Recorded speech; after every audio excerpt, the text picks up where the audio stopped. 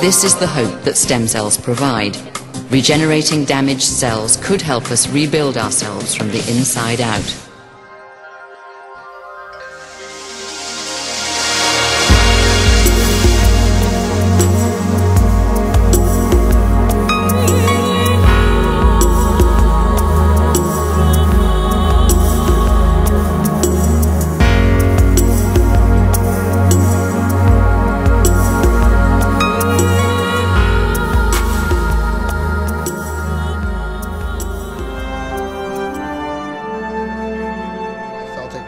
My leg and up through my trunk.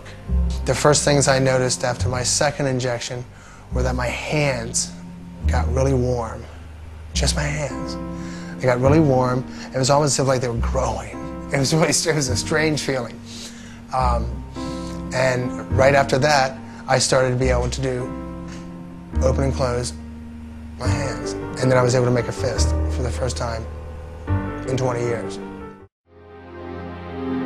On the tiny island republic of Singapore, stem cell science is also driving the biotech boom. The government-built Biopolis is home to some of the biggest names in the biomed business. And it's this high-tech hub that's attracting scientists from around the world.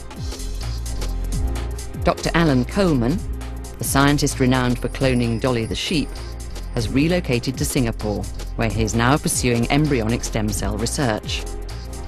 Researchers should be pursuing all these options simultaneously because there are advantages to embryonic stem cells. There are also uh, uh, major advantages to using adult stem cells. One of the uh, great advantages of working with embryonic stem cells essentially is they, they go on forever. Embryonic stem cells emerge in the first seven days of the embryo's development. They have the power to divide and become all the cells of the human body. However, removing the whole of the inner cell mass from an embryo means it no longer has the potential to become a human being.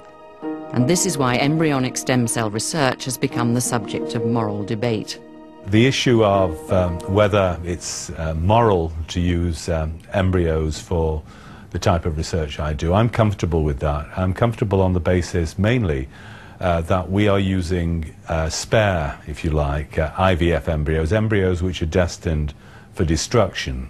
And we feel that the use that we want to put them to is a worthwhile and a, a defensible use. That's curing uh, illness in humans.